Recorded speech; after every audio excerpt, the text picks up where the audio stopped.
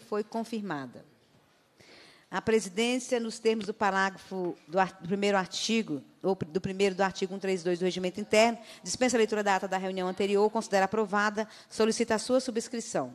Esta reunião se destina a apreciar a matéria constante na pauta, a receber, discutir e votar proposições da comissão. A presidência informa o recebimento das seguintes correspondências, não publicada no Diário do Legislativo.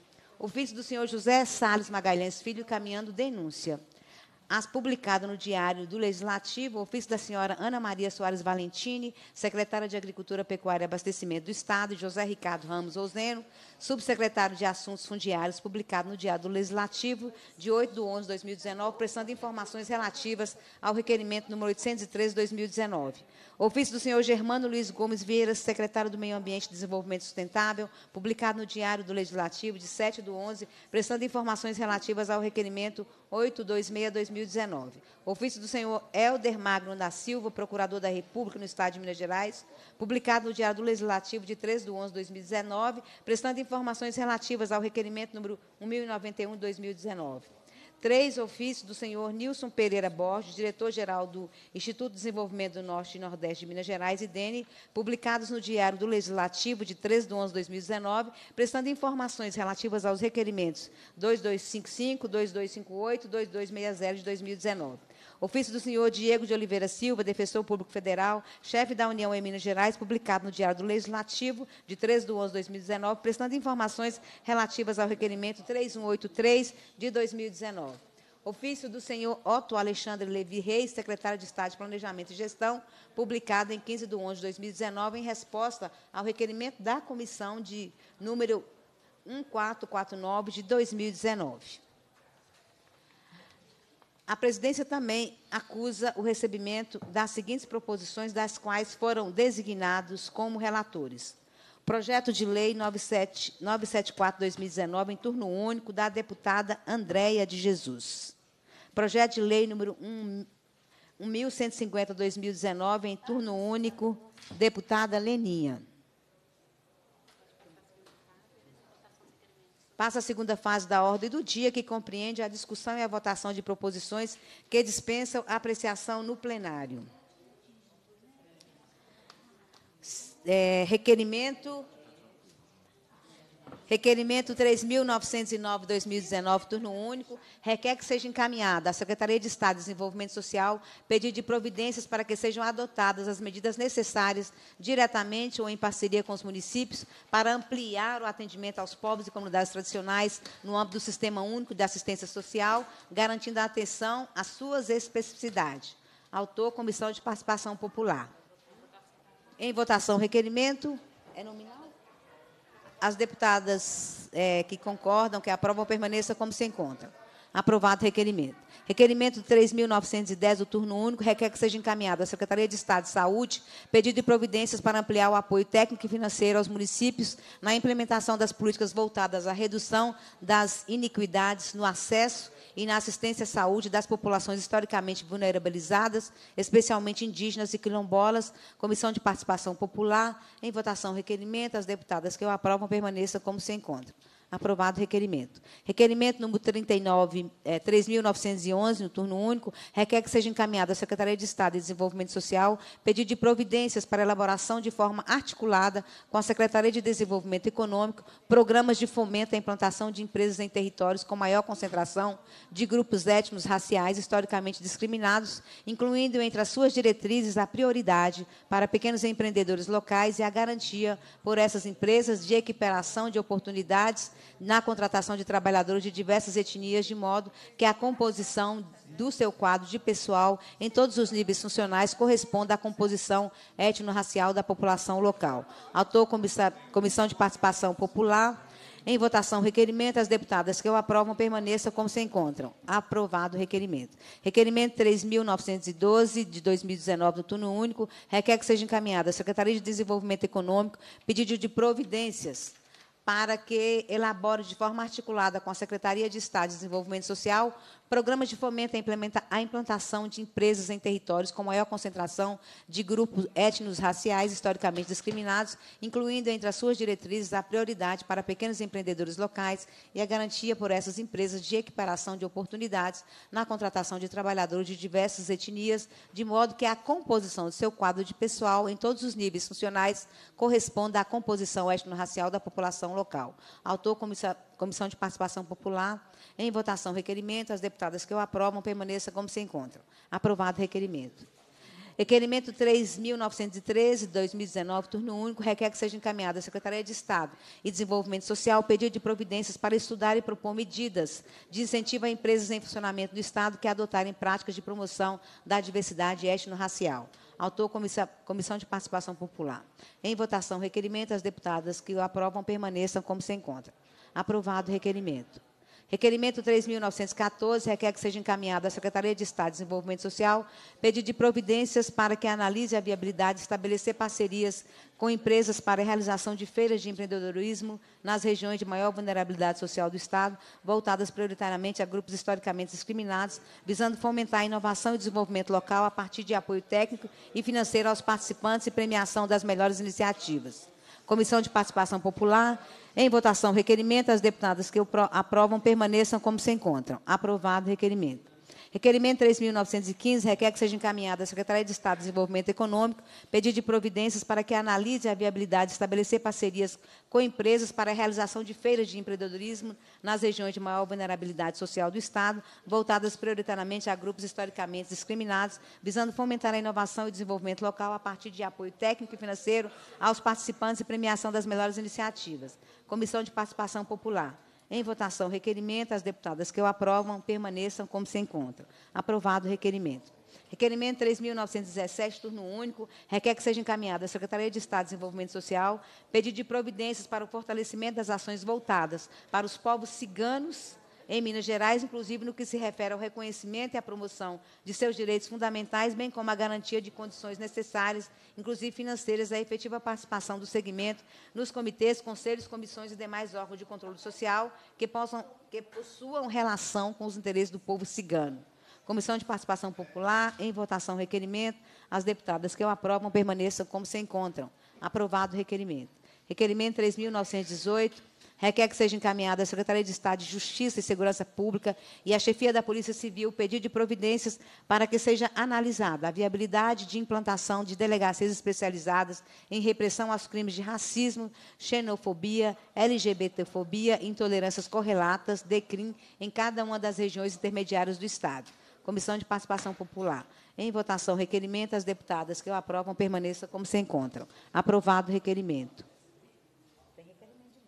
requer que seja encaminhada ao secretário de Estado de Justiça e Segurança Pública e ao Comando-Geral da Polícia Militar pedido de providências para que sejam priorizados, em conjunto com a Coordenadoria de Políticas de Promoção da Igualdade Racial, da Secretaria de Estado de Desenvolvimento Social, ações de formação e capacitação de policiais militares acerca das especificidades dos povos ciganos em suas diversas etnias e sob a perspectiva da defesa dos direitos dessas populações, bem como sobre as várias formas de discriminação e violência étnico-racial, for, de forma a incrementar a atuação desses profissionais, inclusive durante as abordagens policiais.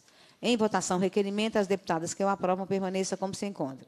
Aprovado o requerimento. Requerimento 3937, 2019, requer que seja encaminhado à Secretaria de Estado de Justiça e Segurança Pública pedido de providências para que analise a viabilidade de estabelecimento de parceria entre as diferentes instituições governamentais pertinentes e organizações da sociedade civil, de modo a propiciar assistência especializada aos praticantes de religiões de matriz africana e afro-brasileiras ou orientais, no caso de hospitalização, internação, detenção ou outras situações em que se encontram recolhidas em instituições públicas. Em votação, requerimento, as deputadas que o aprovam permaneçam como se encontram. Aprovado o requerimento. Requerimento 3940-2019 requer que seja encaminhado à Secretaria de Estado de Saúde pedido de providências para que analise a viabilidade de estabelecimento de parceria entre as diferentes instituições governamentais pertinentes e organizações da sociedade civil, de modo a propiciar assistência especializada aos praticantes de religiões de matriz africana e afro-brasileiras ou orientais, no caso de hospitalização, internação, detenção ou outras situações em que se encontram recolhidos em instituições públicas. Em votação, requerimento. As deputadas que o aprovam permaneça como se encontram. Aprovado o requerimento. Requerimento 3954 requer que seja encaminhada à Secretaria de Estado e Desenvolvimento Econômico pedido de providências para que seja incorporada a dimensão de gênero na execução das atividades realizadas no âmbito da ação 4279 Artesanato Mineiro para o Desenvolvimento Regional. Em votação, requerimento. As deputadas que o aprovam permaneçam como se encontram. Aprovado o requerimento. Requerimento 3980 requer que seja encaminhada à Secretaria de Estado de Cultura e Turismo pedido de providências para que analise a viabilidade de instituir premiação no âmbito do Fundo Estadual de Cultura para iniciativas culturais de comunidades quilombolas, de modo a dar efetividade à emenda popular ao orçamento do Estado, aprovada por essa comissão, bem como para que se analise a viabilidade de que o prêmio tenha a denominação Alê do Rosário, em homenagem a Alessandro Borges de Araújo, Araújo, capitão da Congada Nossa Senhora do Rosário dos Quilombolas, diretor de Cultura das Comunidades Quilombolas de Minas Gerais, Nagolo, e coordenador municipal de Cultura de Berilo. Contramestre da Folia de Reis, ativista cultural e um dos criadores do roteiro turístico da Rota dos Quilombolas, morto precocemente aos 30 anos. Em votação, requerimento. As deputadas que o aprovam permaneçam como se encontram. Aprovado requerimento. Requerimento 4002 de 2019 requer que seja encaminhado à Secretaria de Estado de Desenvolvimento Social pedido de providências para incrementar no exercício de 2020 as ações de formação dos membros dos conselhos, comitês e comissões estaduais vinculadas à pauta de direitos humanos, bem como dos membros dos conselhos municipais de direitos das três regiões intermediárias do Estado, privilegiando-se as capacitações pelo formato presencial e destinando-se para tanto os recursos orçamentários necessários. Em votação, requerimento. As deputadas que o aprovam permaneça como se encontra. Aprovado o requerimento. Requer que seja encaminhado requerimento 4007 de 2019, requer que seja encaminhado à Secretaria de Estado de Desenvolvimento Social pedido de providências para fomentar as atividades inerentes aos conselhos, comitês e comissões estaduais vinculados à pauta de direitos humanos, privilegiando-se o formato presencial para as deliberações desses órgãos por meio da garantia no no exercício de 2020 dos recursos necessários, inclusive para o custeio de passagens diárias de seus membros. Em votação, o requerimento, as deputadas que o aprovam permaneça como se encontra. Aprovado o requerimento. Requerimento 4018-2019 requer que seja encaminhado ao IDENE pedido de providência para que conheça a comunidade quilombola Baú, situada na Fazenda Santana, em Araçuaí, e incorpore ao seu planejamento a elaboração de um projeto básico para a captação da água do rio Jequitinhonha para abastecimento da referida comunidade. Em votação, o requerimento, as deputadas que o aprovam permaneça como se encontram. Aprovado o requerimento. Requerimento 4019-2019 requer que seja encaminhado à Secretaria de Estado de Desenvolvimento Social pedido de providências para que o recurso acrescido pela Assembleia Legislativa por sugestões da Comissão de Participação Popular na ação 4116, promoção, proteção e reparação de direitos humanos no valor de 250 mil, tendo objeto de gasto desenvolvimento de atividade de acolhimento e acompanhamento de mulheres em situação de violência na região metropolitana de Belo Horizonte, sejam preferencialmente aplicados na manutenção dos serviços oferecidos pela Casa de Referência da Mulher Tina Martins, localizada nesta, nesta capital. Em votação, requerimento, as deputadas que eu, aprovo, que eu aprovam permaneça como se encontra. Aprovado o requerimento. Requerimento 4025 requer que seja encaminhado à Secretaria de Desenvolvimento Social pedido de providência para que o recurso, eh, o recurso acrescido pela Assembleia, por sugestão da Comissão de Participação Popular na ação 4116, promoção, promo, proteção e reparação de direitos humanos, no valor de 500 mil reais, tendo por objeto de gasto a expansão e a manutenção do Centro de Referência de Direitos Humanos no Estado, seja aplicado considerando-se também a viabilidade e a oportunidade de implantação do Centro Estadual de Referência dos Direitos Humanos da população em situação de rua. Em votação, requerimento, as deputadas que o aprovam permaneçam como se encontram. Aprovado o requerimento. Requerimento 4073, requer que seja encaminhado à Fundação Caio Martins Fucan pedido de providências para que incorpore povos e comunidades tradicionais como público-alvo de suas ações de inclusão socioprodutiva, considerando as suas especificidades culturais, sociais e de organização interna. Em votação, requerimento. As deputadas que o aprovam permaneça como se encontra. Aprovado o requerimento. Isso.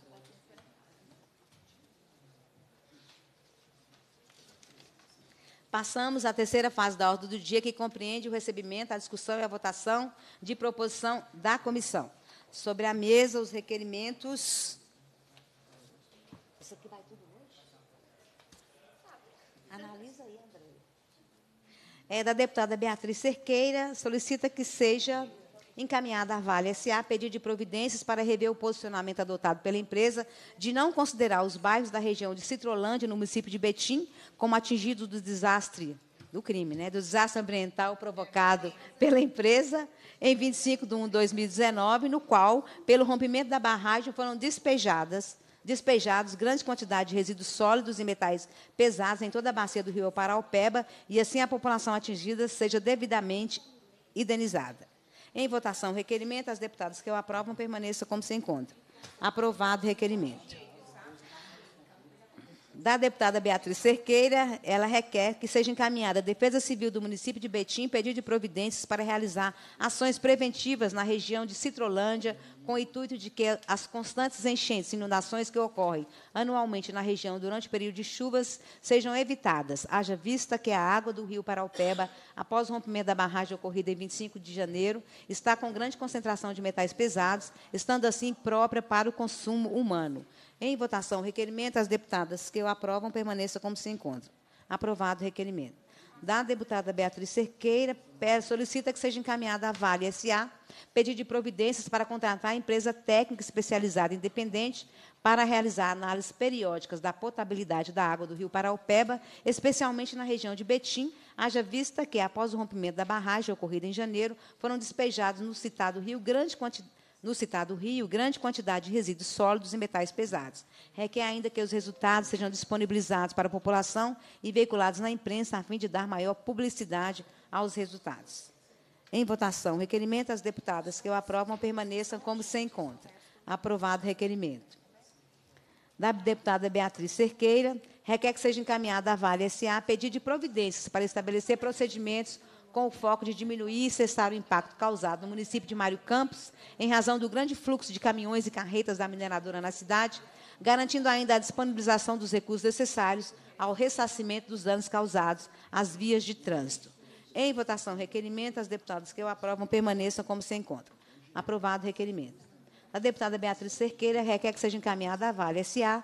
pedido de providências para que reveja os critérios adotados para o reconhecimento dos atingidos pelo rompimento da barragem da mina do córrego do Feijão, em Brumadinho, de forma a contemplar as comunidades ainda não reconhecidas como atingidas, a exemplo da localidade e bairros no município de Mário Campos, inclusive para efeito de recebimento do auxílio emergencial. Em votação, requerimento, as deputadas que o aprovam permaneçam como se encontram. Aprovado o requerimento da deputada Beatriz Cerqueira, que solicita que seja encaminhada à Vale S.A. pedido de providências para ressarcir o município de Betim os danos causados ao citado município pelo aumento do trânsito de caminhões, como poluição do ar e depredação das vias de trânsito. Em votação, requerimento, as deputadas que o aprovam permaneçam como se encontram. Aprovado requerimento.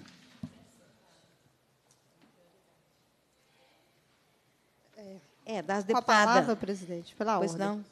Com a palavra, a deputada André de Jesus. É, é a sugestão de leitura dos requerimentos que são oriundos de audiência pública em contagem, eu queria sugerir às senhoras, eu posso fazer a leitura, que pode ser aglutinado, porque todos irão para a Secretaria de Cultura, e a senhora só coloca em votação, que isso de forma que agiliza a votação dos requerimentos.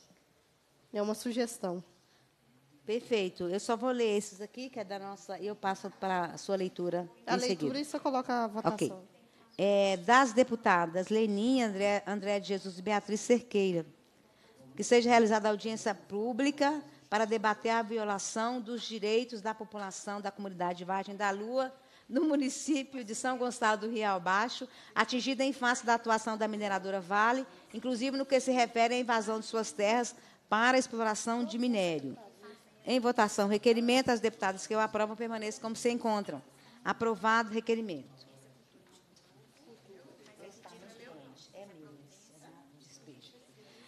É, da minha autoria, o seguinte requerimento, eu passo a presidência para a deputada Andréia para proceder leitura e colocar em aprovação requerimento de minha autoria. Não precisa eleição tudo, não. Lê só um. Não precisa ler isso tudo, não, Andréia. Esse de minha autoria. Não precisa ler tudo, não. Se precisar de suspender, posso justificar. É. Excelentíssima senhora presidente da Comissão de Direitos Humanos, a deputada subscreve, a deputada Leninha, requer que seja encaminhada à Secretaria de Desenvolvimento Social, SEDES, o Tribunal de Justiça, a Defensoria Pública, o Ministério Público do Estado, pedido de providências para que suspenda a reintegração de terra da ocupação Fazenda Norte do município de Capitão Enéas. Em voto. Você coloca em votação? Eu? Em votação, requerimentos. Deputados que aprovam, permaneça como se encontra. Aprovado. Devolvo a presidência à deputada Leninha. É, sobre a mesa, requerimentos, e a gente está acatando a sugestão da deputada Andréa, pergunto se está tudo. Você fazer a leitura, não é isso? Dos requerimentos de audiência, e nós colocamos em votação em bloco. Em bloco. Isso. Ok.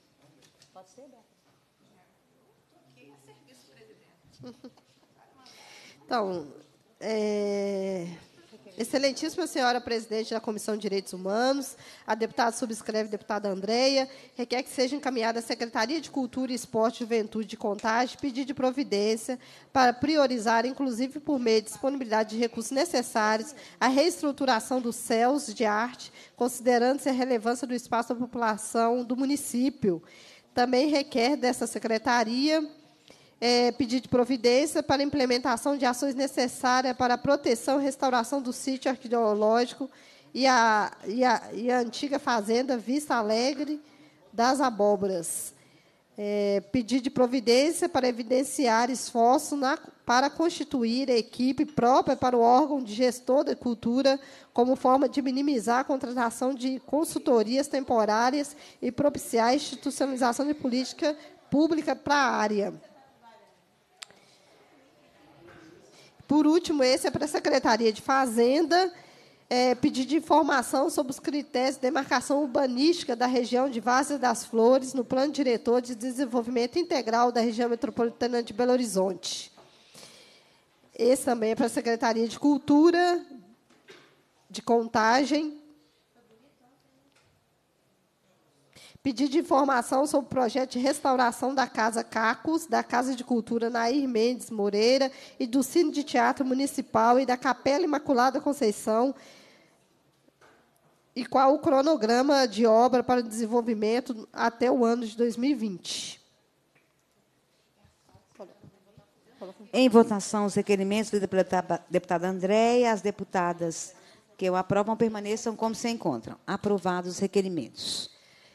É, excelentíssima senhora presidente da Comissão de Direitos Humanos, deputada subscreve, deputada Andréia, requer que seja feita visita técnica à antiga fazenda de Braunas, no município de Contagem, para averiguar as violações de direitos decorrentes do conflito fundiário.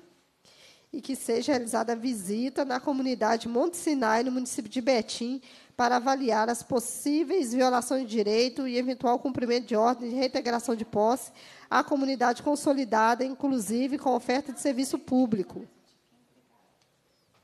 Em votação, requerimento, as deputadas que o aprovam permaneça como se encontram. Aprovado o requerimento. Por, por último, que seja pedido providências à Corregedoria de Polícia Militar de Minas Gerais que averigue possíveis crimes de ilegalidade perpetrado por agentes públicos no conflito envolvendo a família Muniz em Contagem, que seja encaminhado ao Ministério Público também de Contagem pedido de providências para averiguar os possíveis crimes e ilegalidades praticados no conflito envolvendo a, família Muniz, Muniz em Contagem e pedir de providência à Corregedoria da Guarda Municipal de Contagem para averiguar os possíveis crimes de ilegalidade perpetrados por agentes públicos no conflito que envolve a família Muniz em Contagem. Em votação, os três requerimentos que foram lidos, as deputadas é, que o aprovam permaneçam como se encontram. Aprovado o requerimento. Queria voltar à votação anterior. A votação anterior, nós, a deputada Andréa leu dois requerimentos. Requerimento 5748, 5749. A gente colocou em votação somente um. Queria, por favor, o outro requerimento, lido anteriormente, as deputadas que o aprovam permaneçam como se encontram. Aprovado o requerimento. É, a presidência, então, destina essa fase da ordem do dia para ouvir dois cidadãos. Walter Martins da Silva, policial militar, e João Afonso Soares Maia, advogado, é isso? Precisa de? Precisa não? Não, precisa não.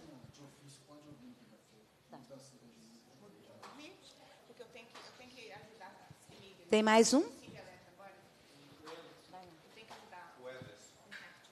O Ederson.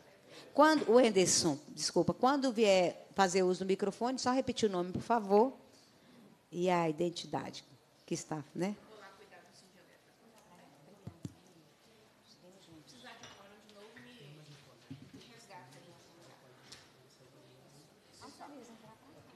Pessoal, eu peço licença, que eu tenho outro compromisso, mas nossa presidenta está na presença do Estado. Por favor, podemos começar? Quem começa? Por favor, poderia falar o nome e.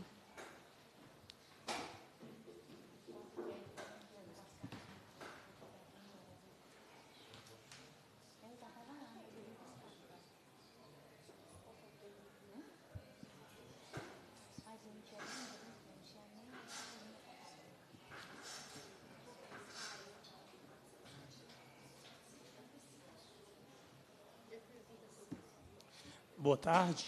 É, meu nome é Walter Martins da Silva, sou policial militar.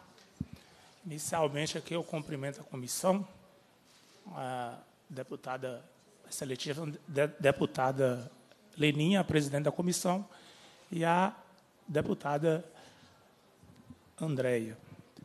É, eu sou bacharel em Direito,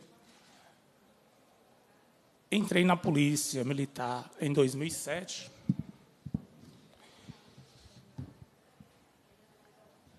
Sou aprovado na ordem de advogados, eh, no exame da ordem de advogados do Brasil. E em 2017 eu concluí o curso de formação de oficiais. E a partir desse momento que eu ingressei no CFO, eu passei a ser perseguido. Eu não, aqui eu não estou reclamando do curso. E eu vou falar o nome de quem me perseguiu. O senhor tenente Sidney de Oliveira, que hoje é segurança do excelentíssimo governador Romeu Zema. Mas eu não vou entrar muito nesse mérito, não, porque o meu colega, o Anderson, vai poder falar de maneira mais detalhada como que o senhor tenente Sidney de Oliveira ele costuma tratar o subordinado. Eu fui torturado na, na, na, na, no acampamento de 2017. Eu não esqueço do que eu passei na noite de 18 para o dia 19 de setembro de 2017. Mas eu vou deixar o Anderson falar dessa parte. É, eu terminei o curso, eu venci essa parte, terminei o curso e fui designado para a cidade de Montes Claros, para a 11ª RPM de 2017, no final de 2017. Em 2018, eu, no dia 14 de 4 de 2018, é, eu era o coordenador de policiamento da unidade, e aconteceu do solicitante ir no batalhão, fazer um BO, e foi feito o BO, eu dei a ordem para fazer o BO porque a situação era grave. E esse BO ele foi apagado. Eu vou até pedir permissão para poder passar aqui para mostrar no telão o que, que aconteceu nesse boletim de ocorrência.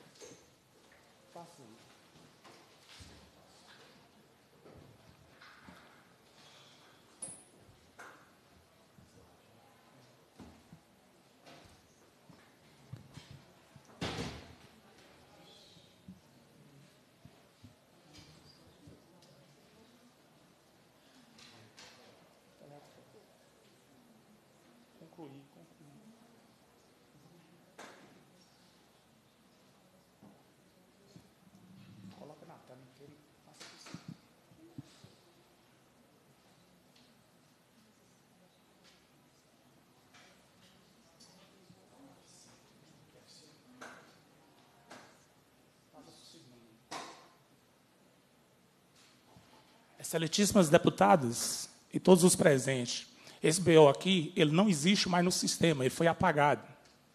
Esse BO foi apagado. Ele tem três páginas, a numeração no canto superior esquerdo. Passa, o segundo BO. Esse BO está no sistema. A numeração, se pesquisar, vai estar esse BO. O primeiro é de ameaça e esse BO é de dano. Ele foi aberto e apagado. E foi inserido, ele foi totalmente apagado. Ali está os dois ali juntos. Pode conferir, a numeração é igual. A numeração é igual. Um, o primeiro com três páginas e o, o segundo com dois, com duas páginas. A natureza do primeiro, ameaça, a natureza do segundo, dano. Além disso, senhores, foi feito um terceiro documento que é o boletim de ocorrência simplificado. É um documento que ele é similar ao boletim de ocorrência. Esse daqui, as informações que contém nele são falsas. São falsas porque eu era o coordenador de policiamento da unidade. As informações que foram inseridas nesse documento são falsas. E eu aproveito aqui para poder fazer o requerimento, solicita é, é, cópia, cópia e o solicitante desse BO, ele vai poder confirmar do BO de ameaça, porque o, o, o BO de dano é outro solicitante. E isso foi em 2018. Mas a sensação da impunidade, ela já está tão consolidada, que eu vou mostrar agora um BO de 2012, que também foi alterado. Ele é diferente desse, desse de 2018, que foi apagado, ele foi alterado.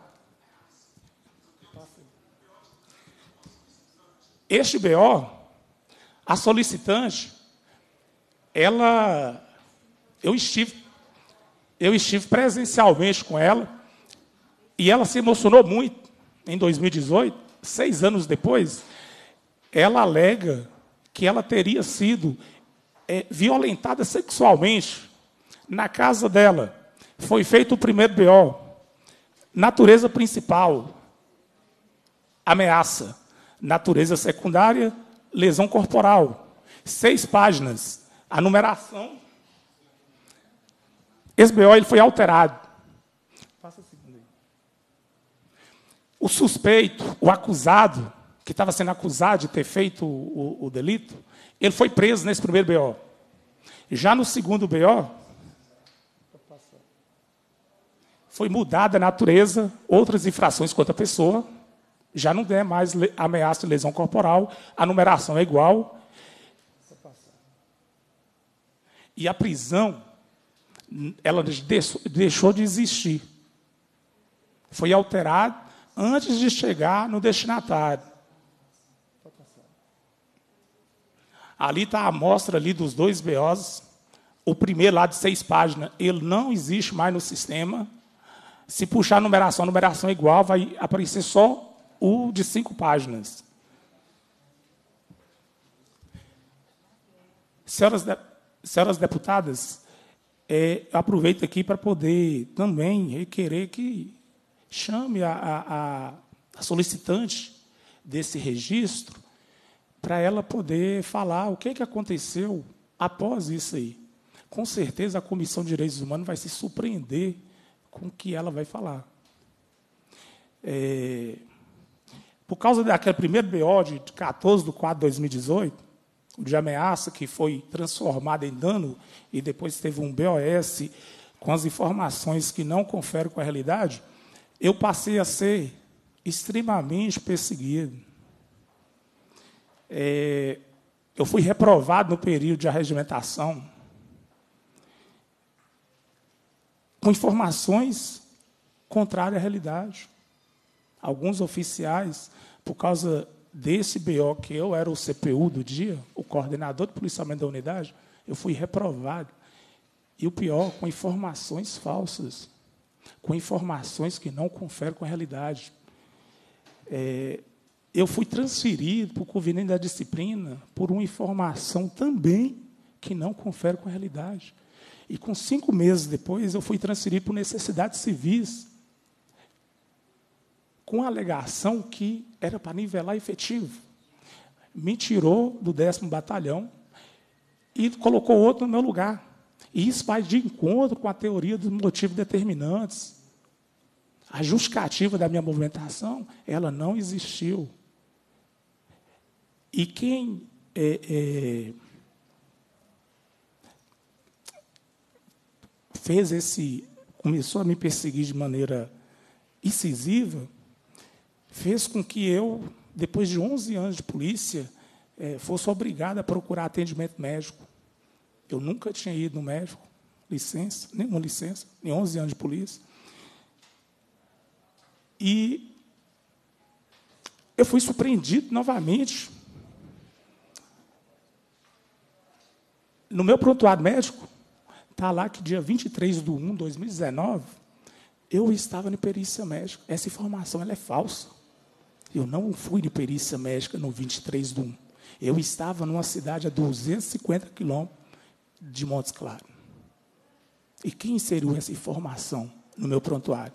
Tenente Coronel, senhor Tenente Coronel Antônio Sérgio Barcala Jorge, chefe do NAS da 11ª RPM. Eu fiquei é, num mar de espinhos que eu, sinceramente, eu não sabia mais o que fazer. E também médicos que assinaram perícia médica sem ter feito. Ou se não, também que aconteceu, é, eu fazia perícia em Montes Claros e o, era enviado aqui para Belo Horizonte e os médicos de Belo Horizonte davam parecer. Isso é contrário ao que a ética médica propõe.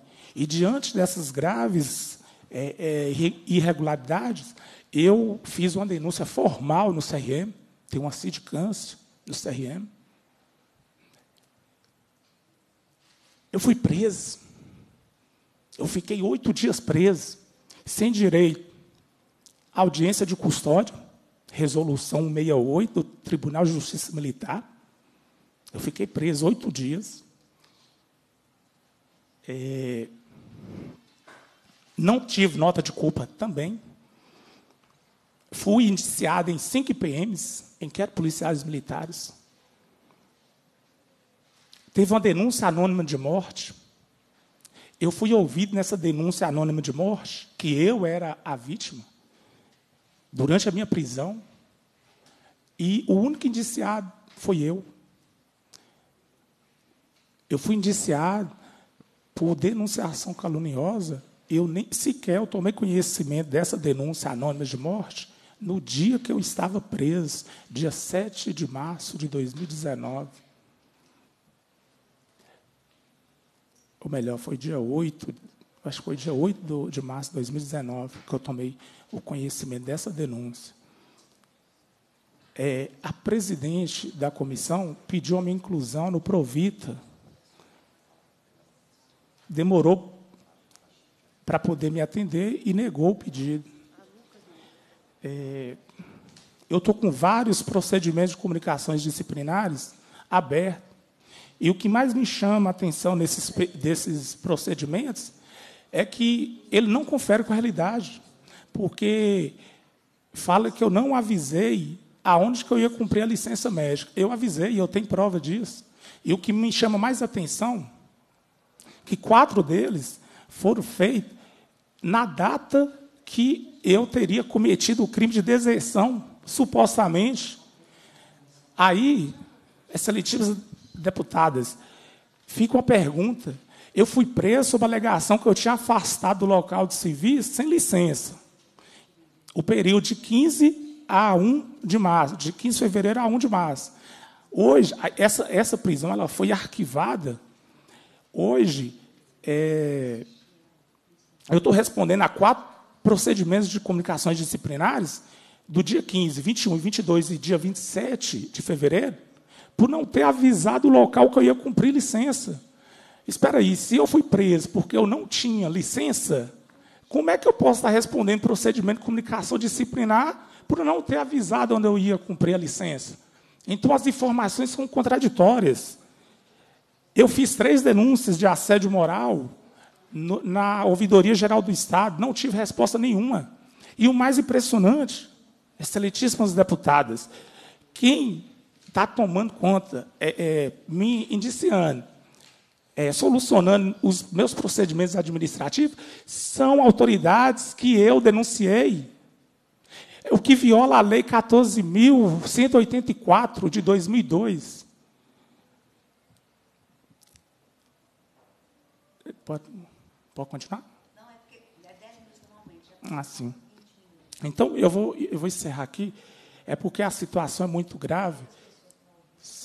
É, a situação é muito grave e eu gostaria muito que fosse dada atenção. Fosse dada atenção na minha situação e nas outras situações aqui que vão ser semelhantes. Eu agradeço a oportunidade. E aqui eu só vou acrescentar aqui que aqui é uma quebra, uma quebra de paradigmas que a Comissão de Direitos Humanos, o senso comum, fala, é, é, traduz que ela só defende o infrator da lei. E aqui é, é prova contrária que tem dois policiais que estão aqui. Então, é, demonstra que os policiais também têm os direitos protegidos na Comissão de Direitos Humanos.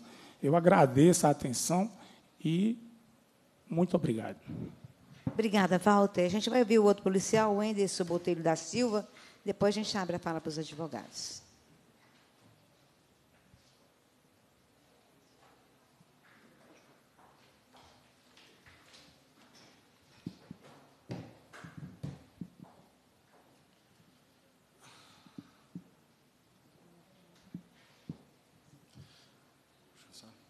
Boa tarde, senhoras deputadas. Eu sou o Enderson Botelho da Silva, o Cabo da Silva. E, da mesma forma que o Walter relatou aqui algumas violações dos direitos humanos, relatou até que foi torturado, eu vim aqui, no, em curso, eu vim aqui passar algumas situações que ocorrem em curso, que formalmente, formalmente estão de acordo com, é, é, é, com exigências de, de é, é, de exigências de, de, de, formação de encarregados de aplicação da lei é, em relação aos direitos humanos, mas não é a realidade que ocorre. O que ocorre é totalmente diferente. É realmente é, é, é eu fiquei até em dúvida se é comissão de segurança pública ou de direitos humanos, mas é como é tocante aos direitos humanos, eu creio que aqui é o lugar correto disso ser denunciado. Né? Então, vamos lá. Eu entrei no CFO com 12 anos de polícia, após conseguir me formar em direito com muito sacrifício, pois o CFO é um curso destinado a bacharelado em direito, a, a bacharéis, no mínimo, bacharéis em direito. Da mesma forma que o colega Walter, também sou, é, além de bacharel em Direito, eu também sou aprovado no exame da ordem, né? possuo algum conhecimento jurídico. E parecia que o sonho da ascensão profissional que se realizava, parecia que o, o, parecia que o sonho da realização profissional, da ascensão na carreira, estava se realizando. Mas o que sucedeu foram quase dois anos de sofrimento físico e mental que passei. Eu era isolado no curso, como a concorrência entre discentes é grande e a coordenação fazia cobranças acirradas para cima de mim, os alunos às vezes falavam: Não quero andar com você, porque eu vou levar ferro. Coordenação lá isola o, o, o, o indivíduo. Dessa forma, eu comecei a juntar documentos fazer gravações, pois não tinha ninguém que quisesse testemunhar a meu favor. Muito pelo contrário, havia vários discentes da minha turma que tiravam proveito da minha situação para ficar de bem com a coordenação. Uma das gravações mais significativas da qual o comandante da EF, Tenente Coronel Silvano, o atual comandante da EF, ele tem ciência, é uma de um acampamento, da mesma forma que o Walter falou. O Walter é de um acampamento de um ano antes, eu sou do acampamento de um ano depois. Ele reclama que foi torturado, e no outro ano eu também fui. Então, é onde aparece o Tenente Sidney, de novo, né? Tenente Sidney, integrante do gabinete militar do comandante-geral, ele trabalha com o comandante-geral lá na cidade administrativa. Ele aparece na gravação falando, me rebaixando, falando que eu não ia me formar, comprovando a situação de assédio horizontal dos outros discentes que eu tinha no que acontecia comigo no curso e, a, e o assédio é, vertical da coordenação comigo. É, isso tudo, ele falou isso comigo só pelo simples fato que eu pedi para mim tomar água e me alimentar. Aparece na gravação também. Porque ele ficava me dando tarefas que eu não conseguia realizá-las e também não conseguia me alimentar. Na hora do, do, do, do, que houve a distribuição da janta, ele mandou que eu me retirasse, ficasse rodando complexo, e toda, e toda vez que eu ia comer, ele mandava eu pegar e fazer outra coisa em outro canto diverso. Até que eu pedi para ele na rede rádio. Ele e ele pegou e me chamou, como está na gravação, e me xingou, falou tudo, tudo que vinha na cabeça dele. Inclusive, inclusive, em desrespeito, com linguagem chula, a comissão, seja de segurança pública, seja de direitos humanos, mas ofendendo as autoridades do legislativo, ofendendo essa casa. É, nessa gravação, nem os parlamentares dessa casa foram poupados. O tenente disse que, se eu quisesse, podia levar ele para a comissão, com todo respeito, do caralho a quatro, que o nome dele estava ali. Eu tenho essa gravação. Essa fala dele demonstrou desprezo aos direitos humanos e referência depreciativa às nobres autoridades da Comissão de Direitos Humanos e talvez de Segurança Pública. Isso veio da boca de um instrutor para um discente. Sorte que não assimilei esse tipo de conduta. Mas e quem, porventura, pode ter assimilado? Essa e outras gravações foram feitas em um acampamento que ocorreu em Ribeirão das Neves, em outubro de 2018. As gravações foram enviadas ao Ministério Público há mais de um ano e até agora não há não há nada de concreto apurado. As humilhações que aparecem na gravação foram direcionadas a um grupo de cadetes que a coordenação, junto com o comando, permitiram que fossem castigados com atribuição repentina de funções e acúmulo. Foi feita a exposição depreciativa desses cadetes pelo tenente Sidney, de novo, integrante do gabinete do comandante-geral, tenente Sena, tenente coronel Silvano e tenente coronel Assunção, comandante atual do 13º Batalhão, na época subcomandante da EFA, juntamente com o capitão Goldinho, tenente Enésio e outros oficiais. Saí do acampamento em estado de choque. O que fizeram comigo causou sofrimento mental e fui parar no psiquiatra em grave crise nervosa, tomando remédio por causa do estresse diagnosticado como proveniente do acampamento. Desde consignado na Comissão de Direitos Humanos, já entreguei, juntamente com a gravação das humilhações coletivas e a comprovação de assédio moral que sofri, juntamente com os insultos às nobres autoridades parlamentares dessa casa e outros documentos necessários que comprovem mais violações de direitos humanos. Mesmo licenciado em choque, sem conseguir colocar os pés na academia de polícia militar, recebi uma fiscalização em casa do tenente Breigil, duas do tenente Sidney, de novo, e uma da tenente Marieta. Essas fiscalizações, às vezes, eram feitas de forma que assustaram a minha mãe, que não tem nada a ver com isso. Minha mãe chegou a chorar e perguntou para mim: Meu filho, por que tanto ódio? O que, é que você fez? O que, é que justifica isso? Será que é por causa da cor da sua pele? Ela perguntou. O pior é que depois que ela perguntou isso, várias pessoas no meu trabalho, várias pessoas que me conhecem, várias pessoas da minha faculdade, me perguntam a mesma coisa. Isso foi proveniente da cor da sua pele? Ressalto que durante o curso tive a medalha de grau bronze atrasada. Até hoje não a recebi, em quase três anos. várias comunicações disciplinares de caráter duvidoso, da mesma forma do Walter, o que me tornou de militar de bom conceito a transgressor. E usaram a ADP para me punir, né? que é um instrumento de avaliação de eficiência do funcionário público, está sendo usado como instrumento punitivo e me retirar do curso. Não pude me informar. É normal se utilizar instrumentos administrativos para atingirem as suas finalidades, até com inserção de dados falsos ou falsos testemunhos. O tenente Sidney também foi inserido como testemunha de transgressão militar, quando não tinha essa qualificação, só para embasar procedimento administrativo. Diante dos fatos apresentados, peço apuração dos fatos apresentados aqui, para que isso não se repita com outros policiais militares e possamos ter nossos direitos humanos respeitados e um treinamento de qualidade digno para melhor servir a população mineira, que não merece isso, que contribui. Um treinamento desse não é caro, foi quase dois anos, não é barato, foram quase dois anos de treinamento.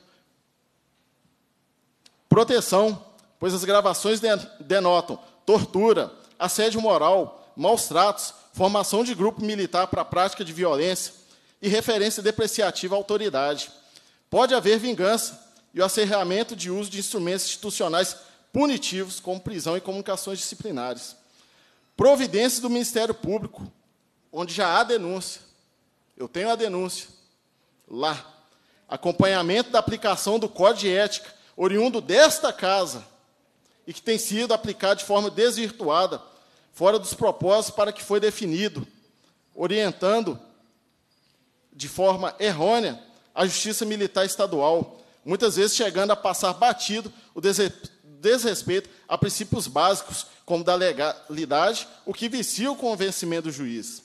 A fiscalização dos cursos oferecidos, se estão de acordo com os direitos humanos. Pois há vários casos de suicídio de policiais militares.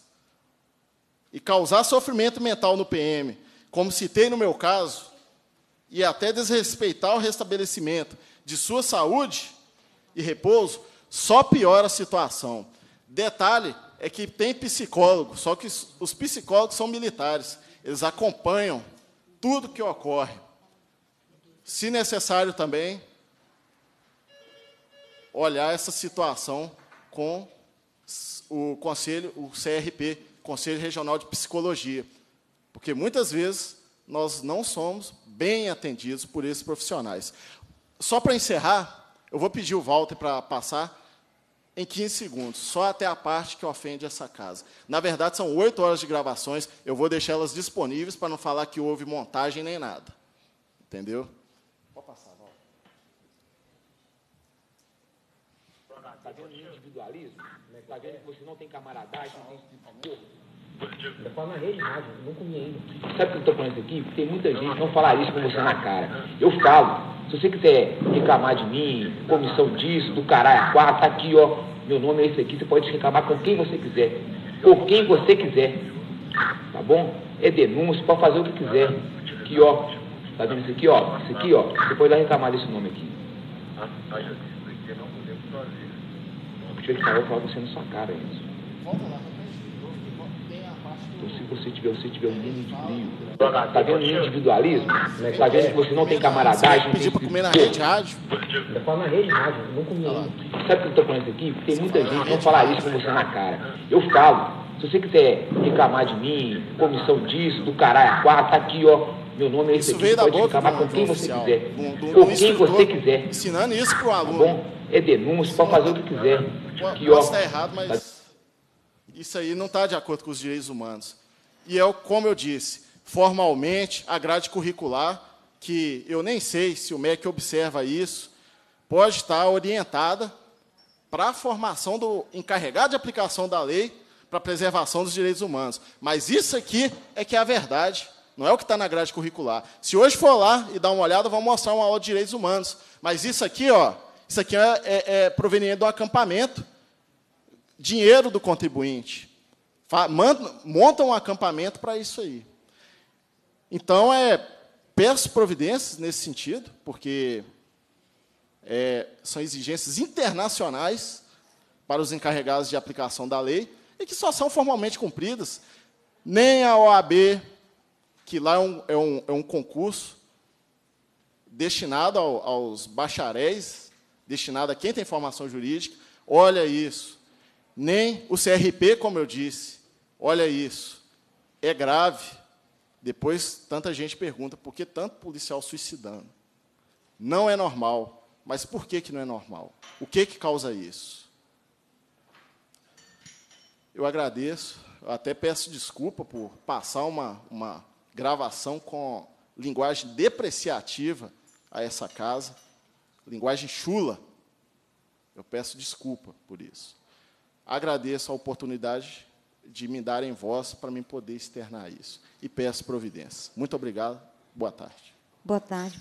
Boa tarde para todos nós, né? Assim, mas de qualquer forma, a gente agradece. A gente vai ouvir a, advogada Adélia. Ela também. Eu vi vocês combinando quem fala primeiro. É isso. Depois da Adélia, o advogado é, João Afonso e depois a gente vê os procedimentos que a gente vai tomar. Excelentíssima senhora presidente dessa Comissão de Direitos Humanos, é, é, em nome de quem eu cumprimento os demais membros, serventuários aqui presentes, boa tarde. Excelências, eu venho aqui hoje com esses dois militares e trazer o que vem de uma forma muito preocupante crescendo no âmbito militar. Advogo há quase, há quase 15 anos, acompanho muito a carreira dos militares desde seu ingresso e a cada dia que passa, a cada ano que passa, esse tipo de assunto está se tornando muito corriqueiro em nosso escritório, lamentavelmente. Com tanta coisa é, importante para ser feita, com tanta coisa para preocuparmos, nos deparamos com pessoas que deveriam zelar pelo princípio da legalidade, pela aplicação da lei. E, a título de exemplo, hoje temos esses dois casos aqui que foram expostos para Vossas Excelências. E não são únicos. Existem outros tantos, não só no âmbito do curso de formação de oficiais, mas próprio, na própria corporação no dia a dia dos militares. E como já dito aqui pelos militares, ah, o que vem demonstrando o grande crescimento, o número assustador de suicídio aí na, na instituição militar. Tudo isso reflexo da falta de do despreparo, do, da falta de cuidado que a polícia militar tem para com seu homem, para aquele que está aqui para defender a sociedade. É lamentável, mas quando a gente pega a documentação desses dois casos, não tem como a, a, prova é material, a prova é documental, e vem os vídeos, vem os áudios gravados, que só corroboram, que não depende de testemunha, não depende de nada. As provas falam por si só. E a pergunta que fica é: o comando da Polícia Militar tem conhecimento, não só desses dois casos, mas de outros? E o que eles vêm fazendo? Nada. No caso do Walter, foram cinco IPMs, cinco denúncias que ele fez na condição de vítima. E, após a apuração, qual que foi a conclusão dos encarregados? Não, quem cometeu o crime foi ele. E a denúncia que foi feita não foi apurada. Foram feitas representações, nada foi feito. O caso do Enderson também, houve denúncia no Ministério Público e até hoje, já quase um ano, e nada foi feito, nenhuma resposta foi dada. Então, diante disso, a gente vem aqui para fazer, é, para pedir realmente para que alguma providência, de fato, seja tomada para que toda esse, esse, essa situação que vem atormentando os militares, porque não é fácil. Esses dois militares são corajosos de estarem colocando aqui hoje a cara a tapa mas com o intuito de defendê-los e defender outros colegas de farda que, às vezes, por uma questão até psicológica, não têm condição de estar aqui, não têm condição sequer de procurar a justiça, em razão do assédio moral, do abuso de autoridade, da forma como são minados na sua energia, ao ponto de ficarem aí afastados com atestados médicos, ao ponto de ter relatos de militar que foi assim ameaçado. Ou você volta para o trabalho, abandona o tratamento psiquiátrico, ou você vai ser reformado com os proventos proporcionais. É lamentável, mas é a nossa realidade. Então, diante disso, a gente pede que sejam feitas, tomadas as providências e para tentar minimizar o sofrimento desses militares que nem sempre podem falar e serem ouvidos. Muito obrigada pela atenção. Obrigada, doutora Adélia. Vamos ouvir João Afonso Soares Maia, também advogado.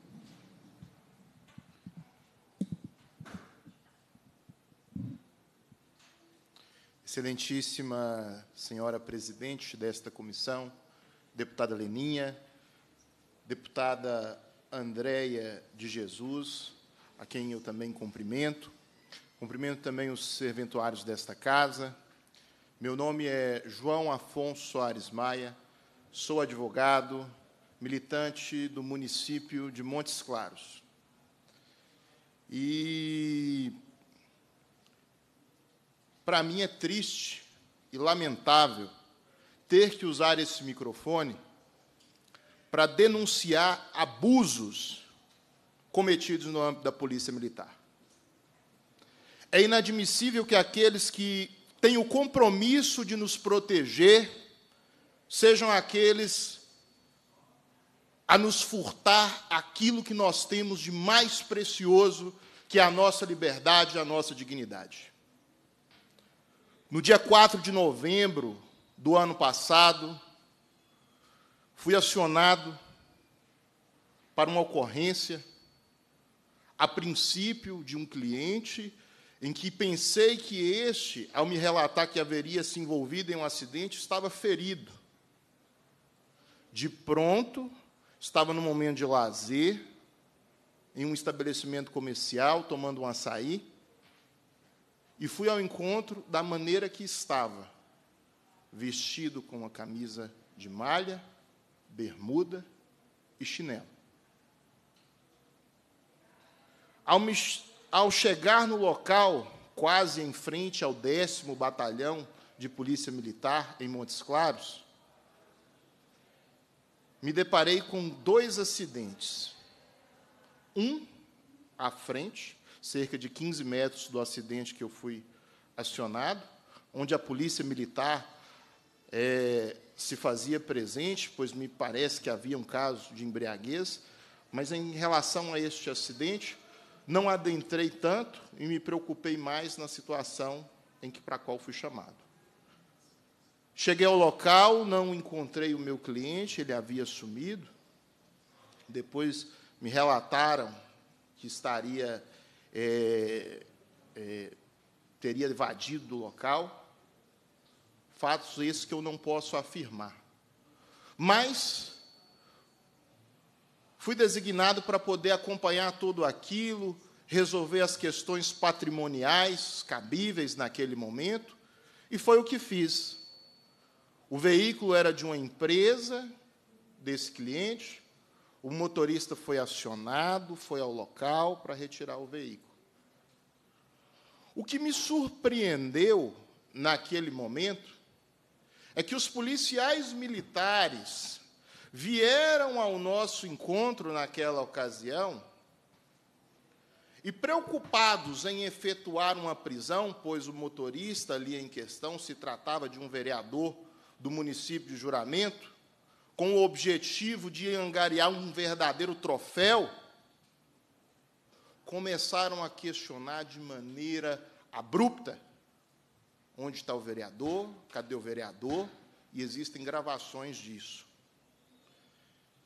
E para o azar deles, eu não sabia, e mesmo que soubesse, por lei, não haveria de informá-los.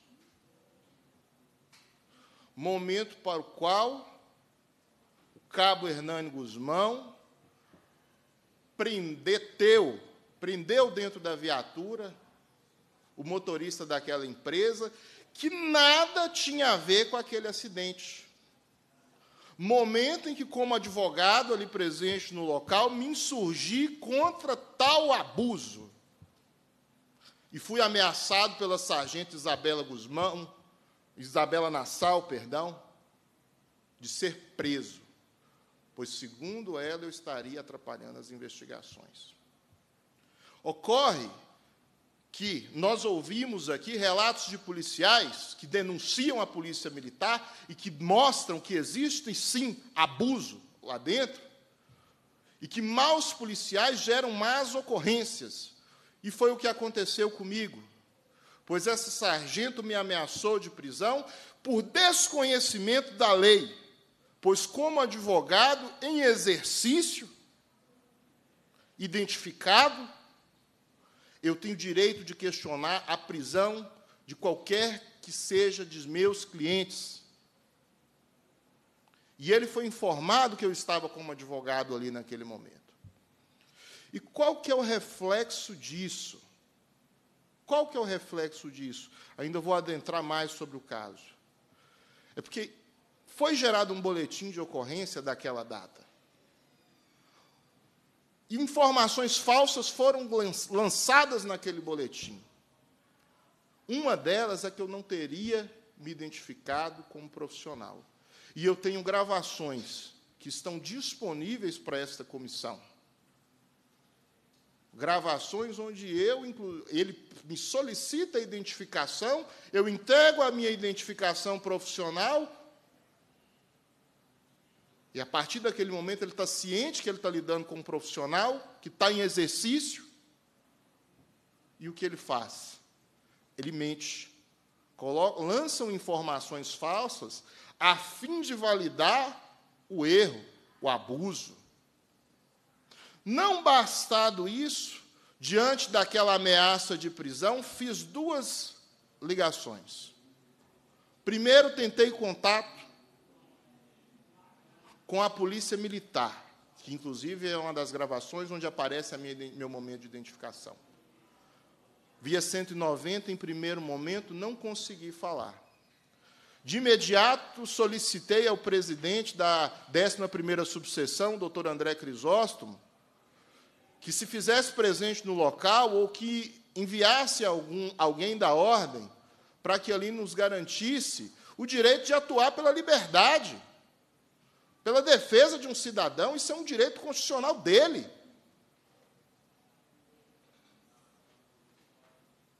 E em seguida, liguei novamente para o 190, onde acionei a Corregedoria de Polícia Militar, e, para minha surpresa, é, esta não se pôde fazer presente, e foi designado o CPU daquela ocasião, o tenente Marcos Pereira de Jesus.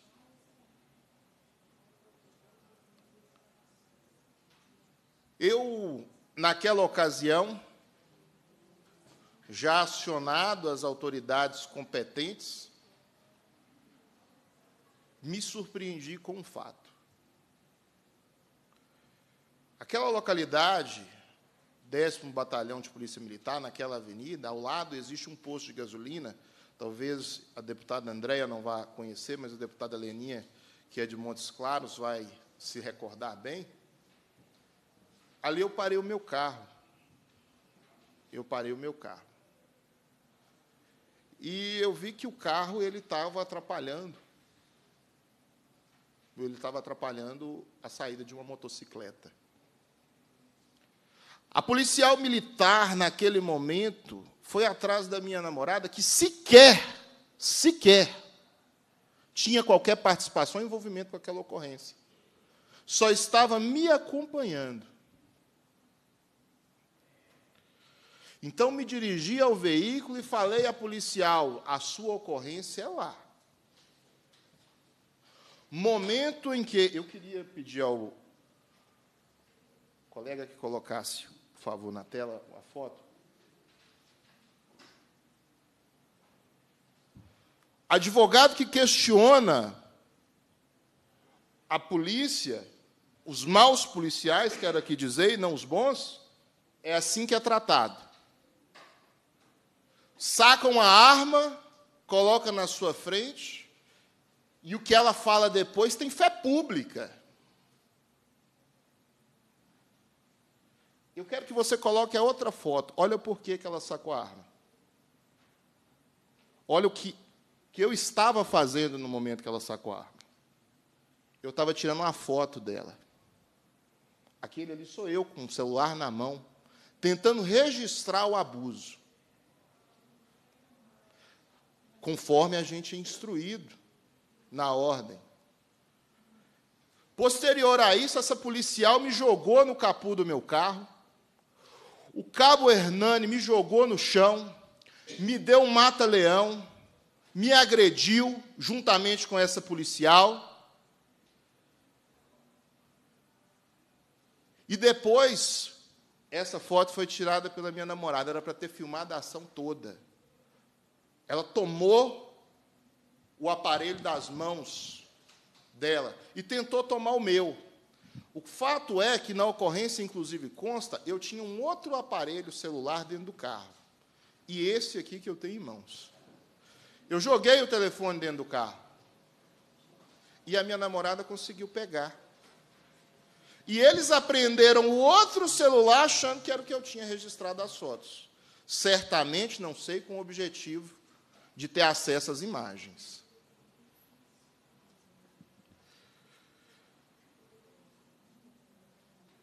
Fui colocado dentro de uma viatura. Tenho depoimentos, inclusive das pessoas envolvidas no acidente, da parte contrária, que falam que nunca viu tanta viatura num local só para fazer a prisão de um advogado, desarmado, já rendido, algemado dentro de um cofre de uma viatura fechada. É assim que maus policiais agem no dia a dia. E eu compreendo quando o Walter ou o Everson vem aqui se expor, porque querem uma formação de qualidade, nós advogados, nós cidadãos, precisamos de uma polícia bem preparada. Um infrator de farda é pior do que qualquer outro. Ele é capaz de gerar danos para a vida de alguém inimagináveis. Desse dia em diante eu fiquei pensando: ora, será se compensa trabalhar tanto, se esforçar tanto? Nessa ocasião, meu carro foi apreendido, porque não tive condições de arcar com meu único erro, deputada, deputada, foi não ter pago os impostos referentes ao meu veículo do ano de 2018 até aquela data. Foi meu único erro. Mas, como recompensa, fui conduzido ao gemado, à delegacia de polícia, e só me retiraram as amarras quando o presidente da 11ª subseção chegou ao local. Não chamado pela polícia, acionado como deveria na forma da lei mas pela minha namorada que se encontrava comigo, a senhora Ana Rita Sá Magalhães. Portanto, ao ter acesso ao boletim, posteriormente, fui surpreendido com as seguintes informações: que eu não havia me identificado, fui surpreendido com informações de que o presidente da UAB, a fim de da polícia tentar validar o ato, teria comparecido ao local de livre e espontânea vontade, quando ele compareceu a meu chamado, porque a polícia não fez. Fui surpre... Fiquei mais surpreso ainda, porque o tenente que relatou esse BO, no dia seguinte pediu que fosse aberto um procedimento de investigação para apurar os fatos onde eu, como conduzido naquela noite, sequer fui ouvido no procedimento. Como pode haver um procedimento oriundo de uma ocorrência na qual eu estou na qualidade de autor e eu não sou ouvido? Os senhores sabem por que eu fui ouvido a posteriori? Tão somente porque a seccional de Minas Gerais ingressou contra a ação desses policiais na corregedoria da polícia. E digo aqui, A corregedoria da polícia ela é falha. E é uma crítica que eu faço: como pode um órgão de correição, oriundo ali, quem está ali no órgão de correição?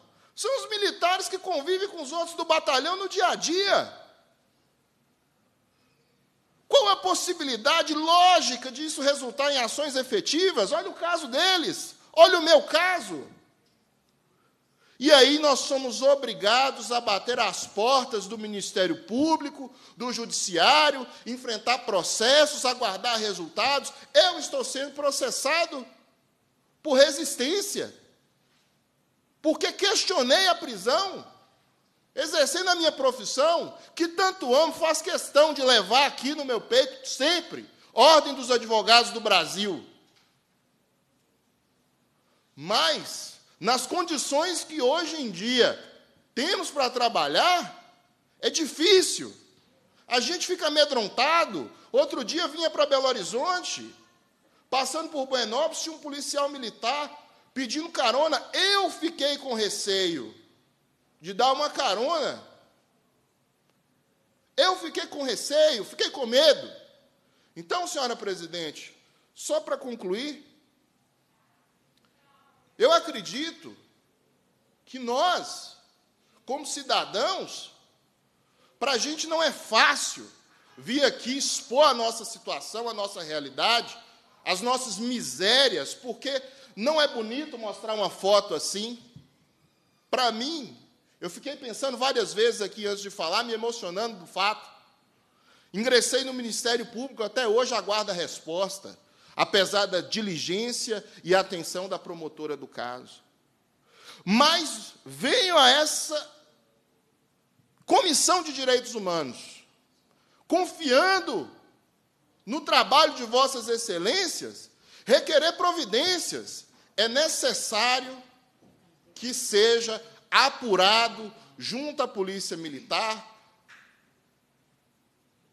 uma maior e cobrado uma maior efetividade nos procedimentos administrativos. Muito obrigado pela atenção de Vossas Excelências. Obrigada, o advogado João Afonso Soares Maia. A deputada André tinha uma pergunta, e eu só me retiro aqui em cinco minutinhos e volto. Ver se eu pudesse é, fazer a pergunta, não sei para quem você quer fazer. Tá.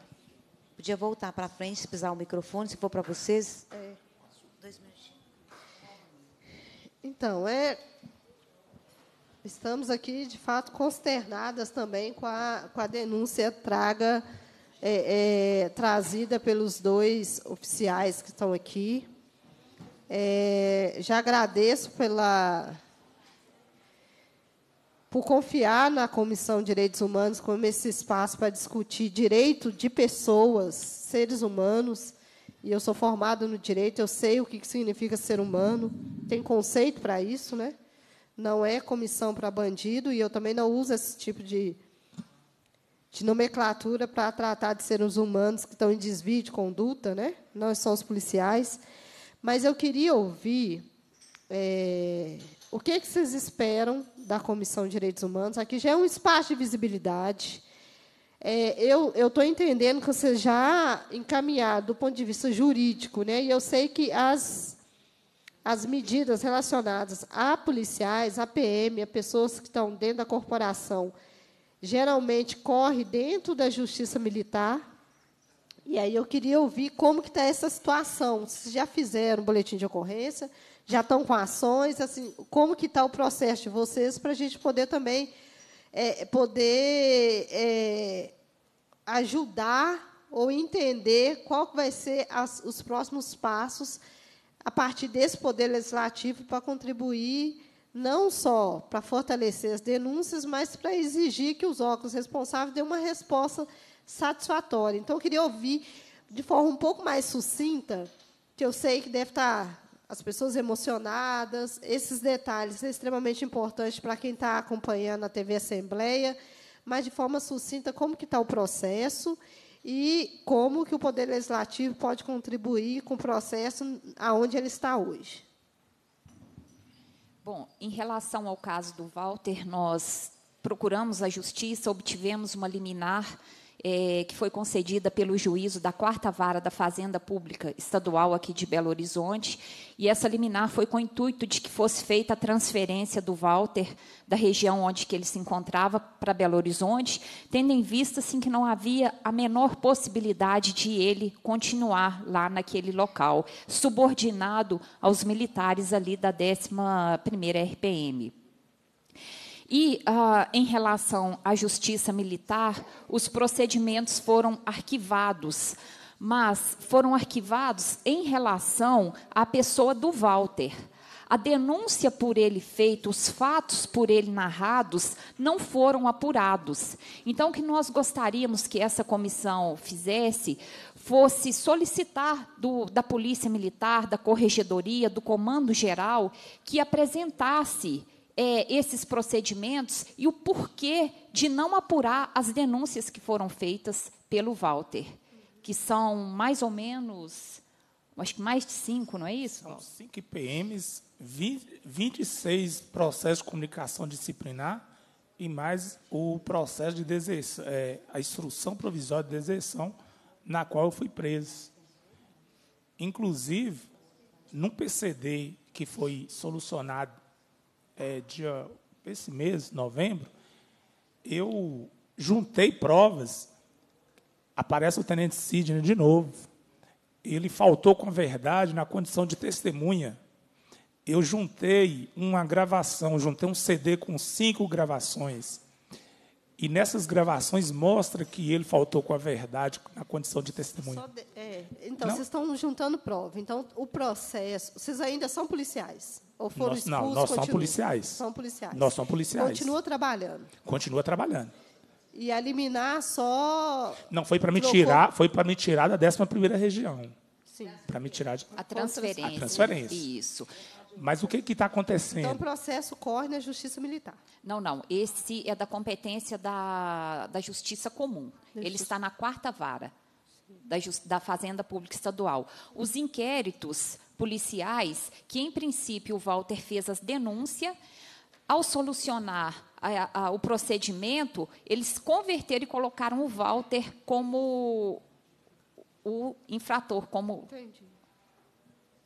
E em relação ao PAD, ao processo administrativo disciplinar que foi instaurado contra ele em maio, em razão do, do absurdo crime de deserção que eles imputam a ele, há mais ou menos dois meses, nós fizemos um requerimento para o comandante do 16º Batalhão, solicitando a imediata notificação dele para que ele pudesse apresentar as defesas. Entretanto, até o momento, o Walter não foi notificado. É um, é um uma portaria que foi publicada em maio, então até agora ele sequer foi dado a ele o direito de se defender e ele já sofre todas as consequências da instauração do PAD, é, principalmente foi retirado dele de forma verbal, o que é um absurdo. É, ele não pode mais usar o porte dele de arma sem que fosse feita qualquer notificação formal. Então, a gente gostaria que fosse pedido também esclarecimentos ao comandante do 16º Batalhão do porquê de até hoje é, ele não ter sido notificado, dado a ele a oportunidade de se defender e já sofrer as consequências desse procedimento aí instaurado. Eu queria fazer um encaminhamento. Eu queria fazer um encaminhamento nesse sentido. Tem é, pedidos de providências que estão parados no Ministério Público, não tem resposta. Então, tudo isso que tiver meio que represado, talvez a gente pudesse ganhar reforço político a partir da comissão, da gente meio que trazer isso e, em nome da comissão, solicitar todo esse procedimento que vocês estão colocando. Inclusive, que está parado lá no Ministério Público, na promotoria, no sentido que a gente vai dar ciência dessa oitiva aqui, dos relatos de violações de direitos humanos aqui, e a gente para a gente não zerar, está entendendo? O que já está no meio do caminho, vamos dizer assim, ou que está aguardando um parecer um oficial, que a gente pudesse pegar todas essas formulações e transformasse isso em documentos oficiais. Nós não podemos aprovar, nós não temos quórum, mas a gente pode colocar em, em votação na próxima reunião extraordinária ou ordinária. Aí tem um aqui que é abrangente, que esse aqui a gente está vendo se vocês concordam com esse texto que foi elaborado a partir da oitiva, né? A deputada André, a deputada Leninha assinam que seja encaminhada à Procuradoria-Geral de Justiça de Minas Gerais pedir de providências para averiguar, com a urgência que o caso requer, as várias denúncias apresentadas a esta comissão pelos policiais militares Walter Martins da Silva e Wenderson Monteiro da Silva, bem como pelo advogado João Afonso Soares Maia, acerca de reincidentes práticas irregulares ou ilegais perpetradas por oficiais da Polícia Militar de Minas Gerais, incluindo situações de abuso de autoridade, fraude, assédio moral, ameaça, maus tratos, tortura, prisão ilegal, por exemplo, em particular por parte do tenente PM Sidney Oliveira. Requerem por oportuno que seja atribuída a celeridade possível aos procedimentos já eventualmente instaurados na instituição, considerando-se a gravidade das denúncias trazidas que indicam várias violações a direitos fundamentais. Requer ainda que seja encaminhada ao referido órgão o rol de documentos anexos, incluindo vídeo e gravações. Esse seria para o tribunal, para a Procuradoria-Geral de Justiça de Minas Gerais. Os demais que vocês estão falando, a assessoria está verificando. Pode elaborar. Com a É palavra, porque, às vezes, presidente. na hora não dá para elaborar, mas se a gente teve o sentido da providência, se vocês concordarem se é isso mesmo, a gente encaminha. Senhora presidente, Pois não. é, a deputada Andréia, ela colocou o que, que a gente espera. E, primeiro, eu quero parabenizar Vossa Excelência pelo, pelo documento lido, porque o que nós esperamos é justamente isso, é que a nossa voz ganhe força e que os nossos casos eles não morram nas pilhas de processos que se encontram aí no âmbito do Judiciário e do Ministério Público. São questões graves, porque estes policiais aqui que a gente denuncia, essas questões, essas pessoas ainda estão na rua. Elas estão aí policiando. Eu fico pensando da seguinte forma, deputada: eu sou advogado, eu tenho condição de vir aqui fazer uma defesa técnica. O Walter, ele, o, o, o Anderson, são policiais com formação jurídica, têm condição de fazer isso. E os pobres que estão na rua, os pobres que eu digo, aqueles desinformados, aqueles que não têm o mínimo de saber jurídico, que são abordados todos os dias, de forma abrupta, de forma é, perversa, quem é que vai gritar por eles, se não essa comissão, se não esse parlamento? Então, eu quero que esse discurso não seja só por nós, mas que seja por todos aqueles que estão com seus é, procedimentos parados. O Ministério Público é o responsável pelo controle da atividade externa policial. E essa comissão é o parlamento é quem tem força de cobrar do governador uma qualificação melhor, uma formação melhor. Nós tivemos aqui denúncias graves na formação. E um mal policial, eu sou exemplo vivo do que um mal policial nas ruas pode fazer. O que, que essas pessoas que não têm a condição de estar aqui gostariam de arcar com um advogado, que muitas vezes é caro, é custoso, às vezes vão para a fila da Defensoria Pública, não são atendidos de forma rápida e adequada. O que, que essas pessoas podem fazer? Então, é, deputada Leninha, cumprimento Vossa Excelência, agradeço pelo encaminhamento e peço a Vossa Excelência que encampe a voz desse povo de Minas que precisa muito é, de uma polícia de- militar de qualidade. Obrigada. É, Excelentíssima presidente, eh, eu gostaria de acrescentar que a intenção aqui não é discutir mérito de procedimento, de processo, porque nós somos conhecedor. Não é isso que nós estamos buscando aqui. Ah, já está incluso. Nós, nós estamos buscando aqui, no meu caso, por exemplo, não adianta qualquer acusação, por melhor que seja a defesa, eu provar que não aconteceu, eu estou sendo punido. Parece que não- nós estamos num estado que ele não é democrático. E ninguém me avisou. Eu estou impressionado, ninguém me avisou. Porque se nós não estamos. Eu acredito que nós estamos no estado democrático, onde tem as leis e as leis têm que ser cumpridas por todos. Posto e graduação não é imunidade. Não é imunidade. Eu estou com um BO de foragido da justiça e eu nunca respondi nenhum processo criminal. Então, é essa- posição que nós queremos aqui, e eu faço o destaque dessa, desse pequeno detalhe. É, Peço uso encaminhar, para fazer a palavra também, É, a gente estava em outra audiência ali importante, por isso que a gente queria dar os encaminhamentos para encerrar para ir para outra, que é uma votação importante que a gente tem na casa. Sim, sim, senhora. Mas podemos ouvir você e depois fazer os encaminhamentos. Sim, senhora. Continuar com É, eles. vou ser breve. É, essa questão do, do, do- o- A senhora perguntou o que eu desejo, o que a gente deseja com isso. A primeira que eu expus foi a questão do treinamento, né? que ele- ele é carecedor dessa fiscalização quanto à prática dos direitos humanos. Então, é, o que, que adianta? Está formalmente é, colocado que tem que ser ensinado os direitos humanos quando a gente tem esse tipo de gravação, esse tipo de treinamento, né? É, querendo fazer um treinamento tropa de elite, essas coisas aí, coisa até tirada de filme, coisa que veio da, da- do todo curso da PM está assim agora. É, outra coisa é essa questão também da aplicação, que é uma vergonha do como o código de ética ele é aplicado. O código de ética ele é oriundo daqui.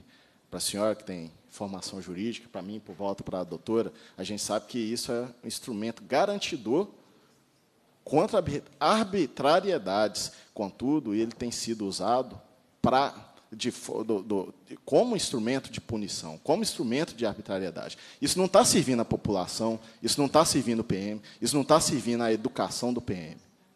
Então, é, é- é- é bem amplo. O pedido da gente é, é- é- parece ser pessoal, mas é amplo.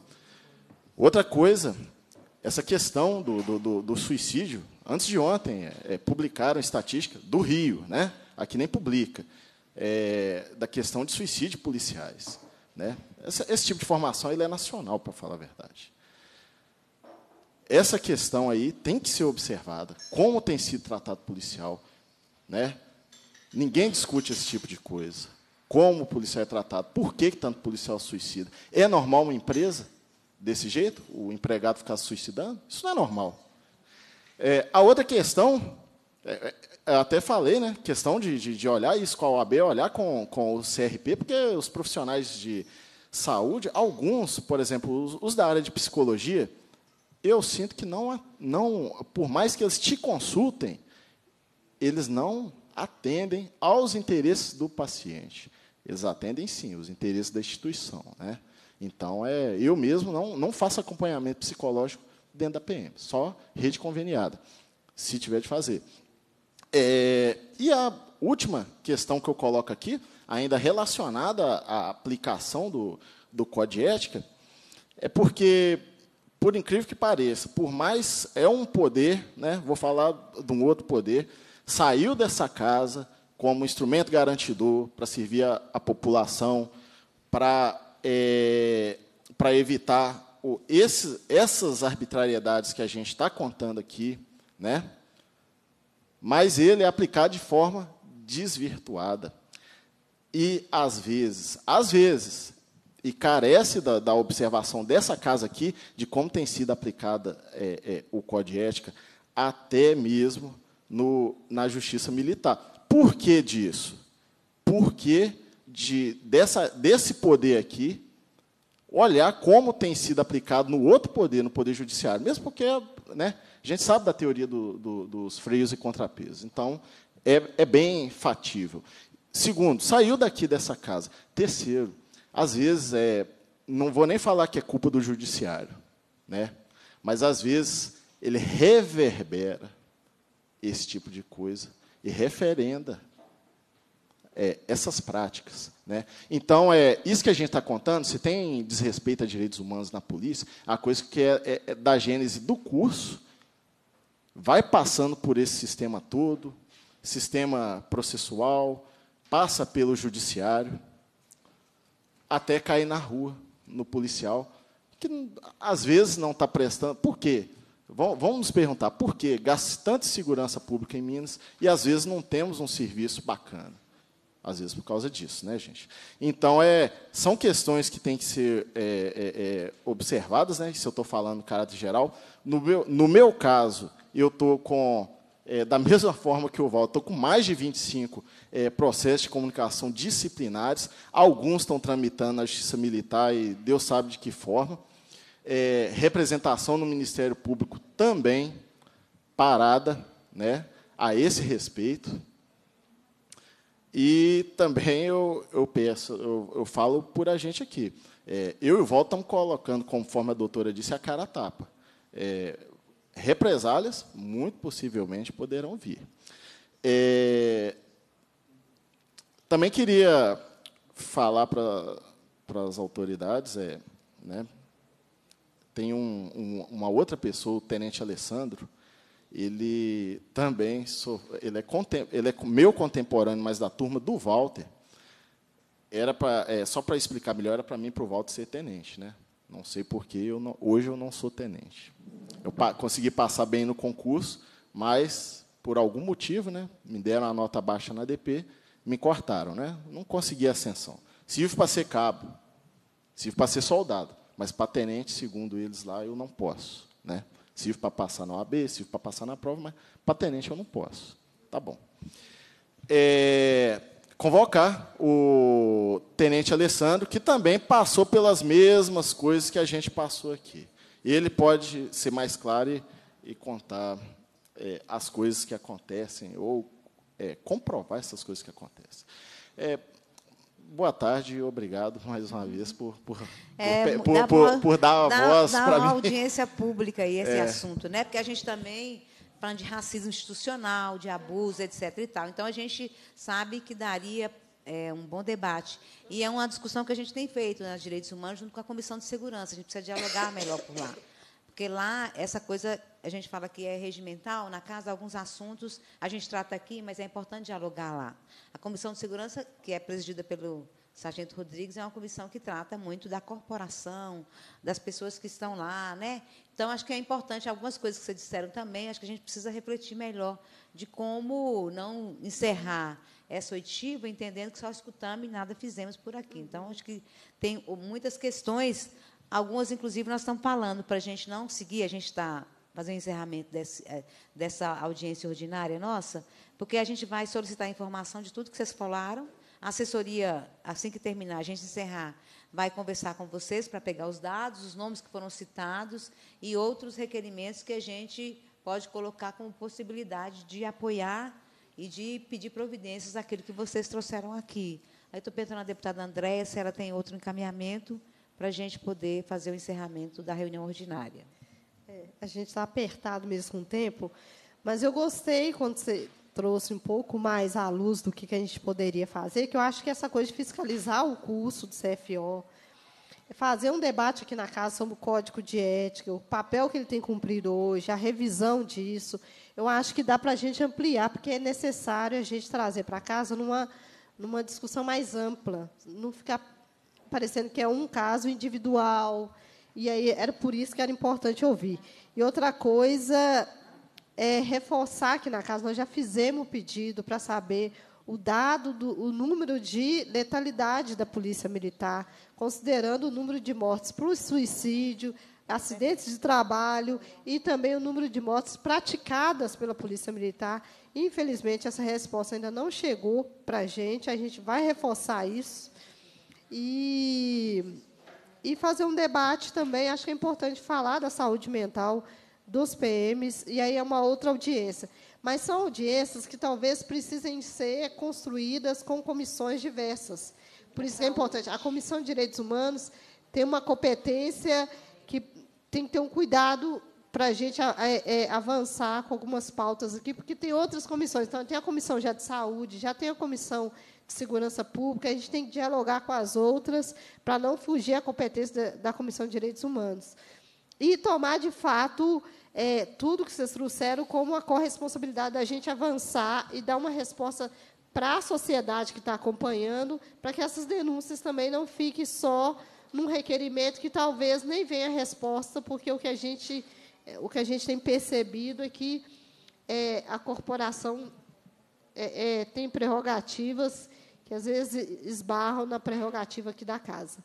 Mas é isso, acho que o bom encaminhamento, a gente já tirou aqui uns pedidos de informação, se a gente for construir junto com os números, por exemplo, o 16º Batalhão, se a gente tiver o número da portaria, é muito melhor para a comissão aqui fazer um pedido de esclarecimento, né, porque a portaria não foi cumprida, e aí por diante. Mas é bom o encaminhamento dado pela nossa presidente, deputada Leninha. Obrigada, deputada Andréia. Então, nós estamos entendendo que vocês permanecem com a assessoria para a gente ver o que, que a gente consegue construir de desdobramentos da, dessa oitiva aqui de vocês.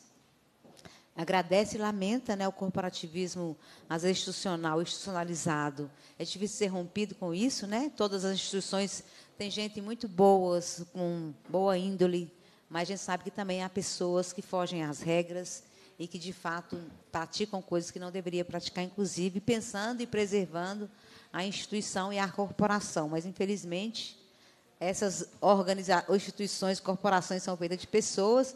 Lamentamos profundamente, acho que, os, acho que as coisas que foram trazidas aqui, de fato, é, como diz o doutor João, vocês podem vir fazer, mas isso deve se estender para uma sociedade onde as pessoas sofrem esses tipos de abusos e não têm condições de fazerem também suas denúncias ou relatarem o que acontecem com elas, né? Mas eu queria então agradecer mais uma vez vocês e a gente vai então a partir da assessoria tentar construir outros elementos para encaminhar. Então, cumprindo a finalidade da reunião, a presidência agradece a presença né, da parlamentar André, que ficou até final, mas da Beatriz Cerqueira, que nos ajudou nessa reunião. Convoca os membros para a próxima reunião ordinária, determina a lavratura da ata e encerra os trabalhos. Obrigada a todos e todas.